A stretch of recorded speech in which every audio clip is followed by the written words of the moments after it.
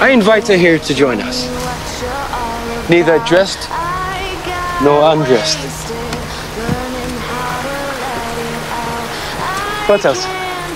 Neither hungry nor full. Neither in company nor alone.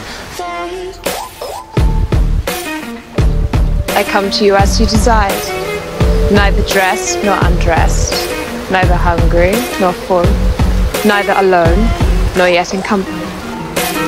Do I pass your test? I owe you an apology. I accept.